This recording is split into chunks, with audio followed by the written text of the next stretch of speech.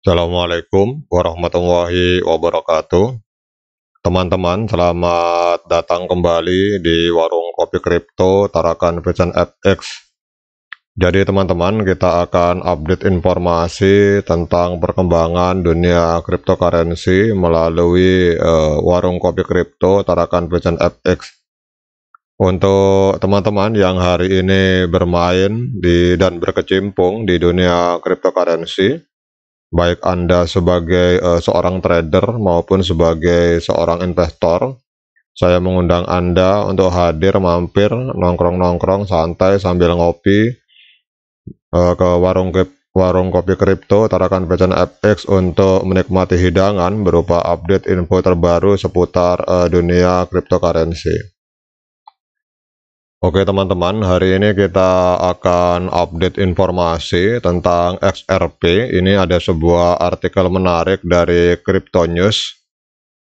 Uh, ada pertanyaan dari investor, apakah pada tahun 2023 ini XRP akan mampu uh, mencapai harga 10 dolar?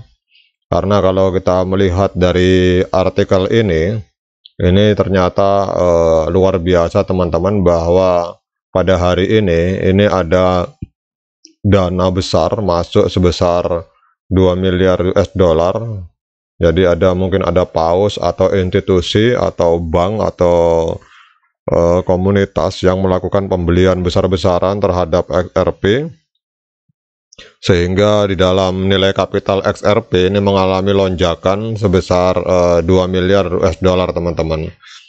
Jadi lonjakan dari investasi yang sangat mencolok ini ini telah memicu spekulasi tentang uh, lintasan harga potensial yang dimiliki oleh XRP dalam tahun 2023 ini teman-teman. Kemudian uh, para investor dan para XRP Army ini bertanya-tanya apakah XRP memiliki potensi untuk mencapai angka 10 dolar pada tahun 2023. Dengan banyaknya pertanyaan-pertanyaan tersebut teman-teman, kita akan beralih ke sebuah media online yang lain yang bernama Finbolt.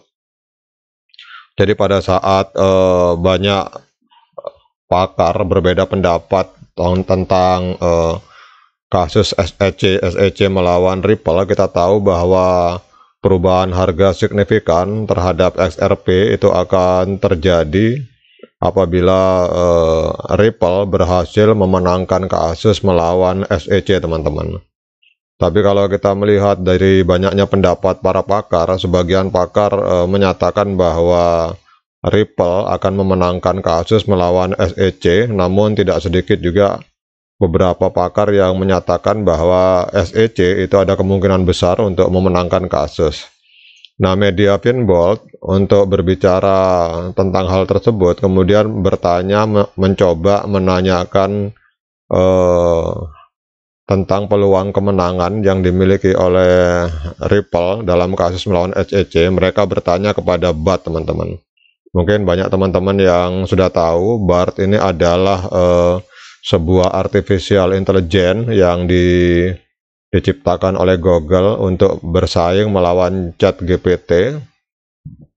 Namun ada kelebihan dari BAT dibanding chat GPT. Kalau chat GPT itu hanya mampu berbicara dengan data real time sampai dengan tahun 2021 teman-teman.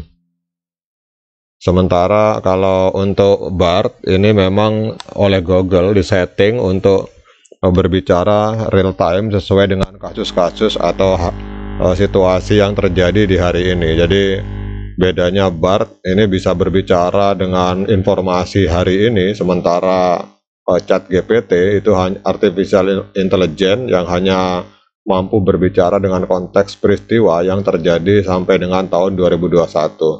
Inilah salah satu kelebihan dari BART.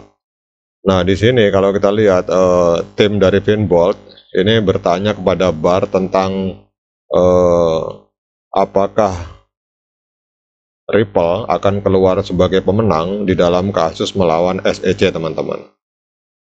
Jadi kalau kita melihat dari artikel ini teman-teman, awalnya uh, alat ini atau BART ini sebagai artificial intelligence ini mengakui kesulitan dalam memprediksi dengan pasti kemenangan potensial Ripple meskipun keberhasilan uh, telah ditunjukkan oleh Ripple pada saat uh, beberapa kali mengalami persidangan melawan SEC. Namun Bart mengakui kekuatan argumen Ripple sampai saat ini dan mengakui bahwa hasil yang menguntungkan bagi Ripple itu akan menjadi tonggak penting bagi komunitas kripto secara keseluruhan teman-teman. Jadi kalau kita lihat di kalimatnya Bart ini, Bart menyatakan bahwa sulit untuk menyatakan dengan pasti apakah Ripple akan menang dalam kasus melawan SEC. Namun eh, Ripple telah menyampaikan beberapa argumen yang kuat dan telah memenangkan beberapa kali eh, persidangan penting melawan SEC sampai saat ini teman-teman.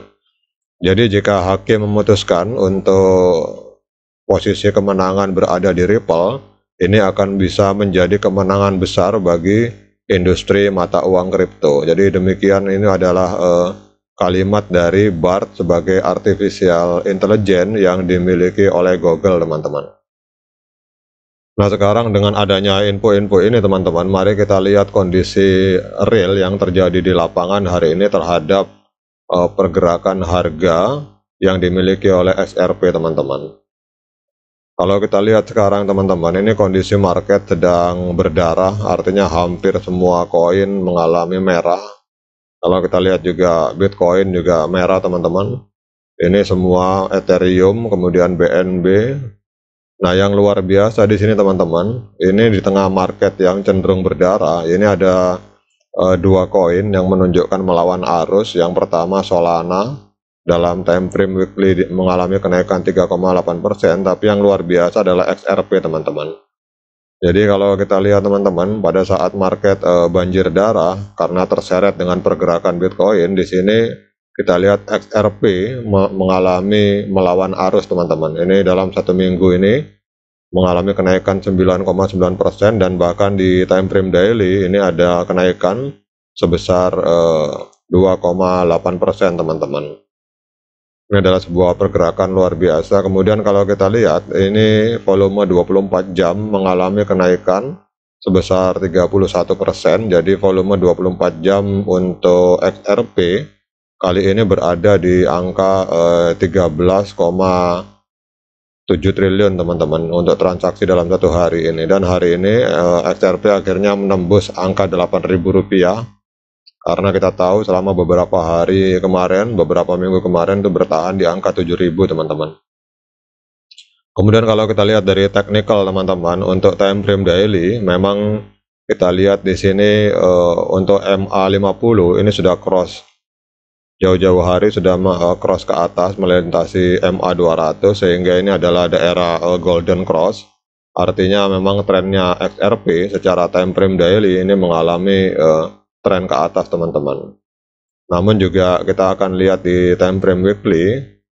Kalau di time frame weekly ini memang masih dead cross teman-teman. Tapi kalau kita lihat dari candle weekly ini sudah uh, membreak dari MA200 dan ini bisa ada indikasi kalau dia bisa menembus angka resisten 0,53 ini bisa terjadi XRP akan meledak ke atas teman-teman.